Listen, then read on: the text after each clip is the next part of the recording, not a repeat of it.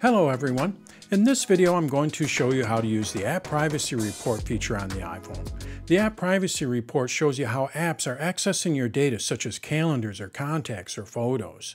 This feature provides a great way to not only see how different apps are handling your information, but also what sites they are accessing. Are they accessing Google? Are they accessing iCloud? How often?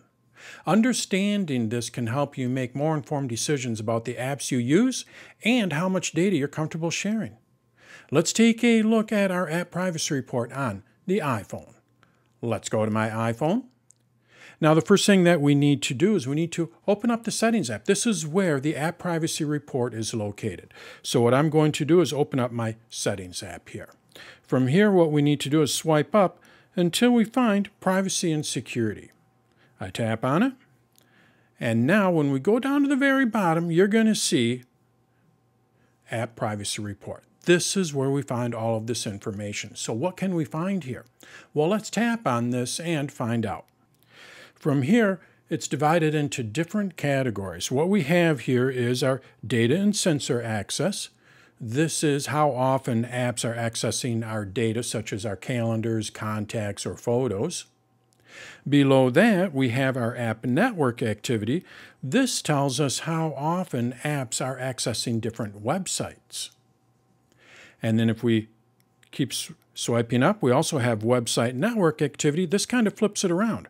What we're now looking at our websites and we can see which apps are accessing those websites. So we're just kind of flipping around. Instead of looking at an app, we're looking at a website and we can see all the apps that are accessing that.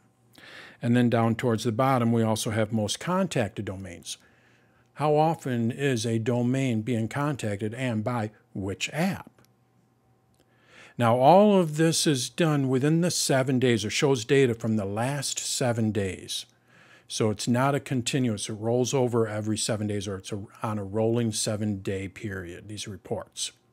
Let's take a look at our data and sensor access first.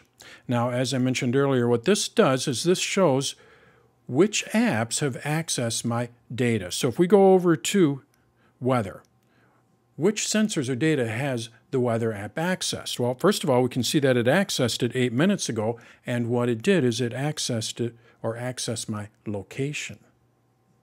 If we go over to photos, it accessed my data 16 hours ago, and Contacts and photos are what it accessed. So when I tap on this, we can see that the Photos app was 16 hours ago. It accessed my photos 16 hours ago.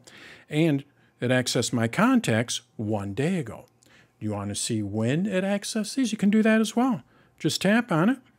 And now we can actually see when, in the last seven days, the photos were accessed by the Photos app.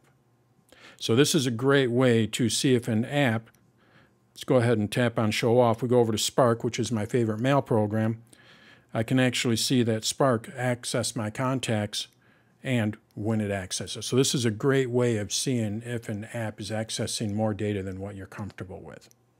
So that is our data and sensor access, how often an app has accessed our data. Let's take a look at the next section. The next section tells us how often an app has accessed different websites. So I'm going to swipe up here and we're going to go to App Network Activity. And again, I can tap on any one of these apps to see which websites they access. So let's go ahead and tap on Spark again. We can see that Spark is owned by Readdle, and the domains that it contacted are Gmail, Gmail, and iCloud. Well, that kind of makes sense because this is a mail program and I have a couple of Gmail addresses in there as well as iCloud. So we can actually see when or what sites it has access. And then when we tap on these, what I'm able to do is see when it accessed it. And then, if we swipe up here, you're going to see websites visited in app. I can actually see which websites were visited in the app. So with this report, what we're able to do is see which websites an app visits. Now let's flip it around. Now we're going to focus on the network. So I'm going to swipe up here and we're going to go to website network activity. With this, now what we're doing is we're looking at a specific website and then we can see which apps have accessed that website.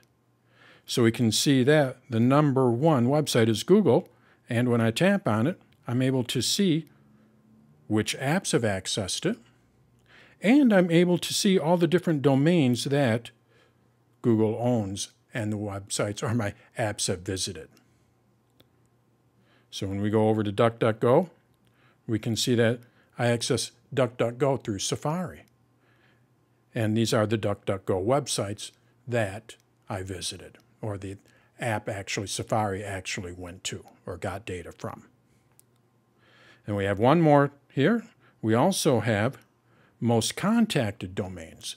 What this will do is this will tell us which websites have been the most contacted by our app. So we can see that iCloud has been the most contacted, and when I tap on it, I can see which apps have accessed iCloud. Well, we can see why it's the most contacted because Stock, Safari, Messages, Shortcuts, all these different Apple apps are accessing that website.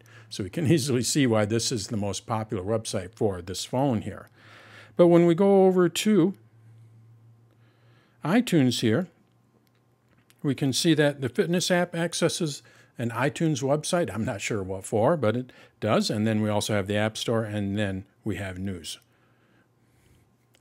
So that is our app privacy report. As I mentioned earlier, this can give us some insight into what apps are accessing our data as well as which websites they're accessing. And then we can also flip that around and go to a specific website and see which apps are accessing that website and how often. So if you want to get a good idea, a good grip of what is going on with your apps and what websites they're accessing, just go over to the App Privacy Report. It's located in the Settings app under Privacy and Security, and you'll see it down towards the bottom. I should mention that this is not an iOS 17 feature. This has been around for a couple of years. This is nothing new to the iPhone. So that is the App Privacy Report on the iPhone.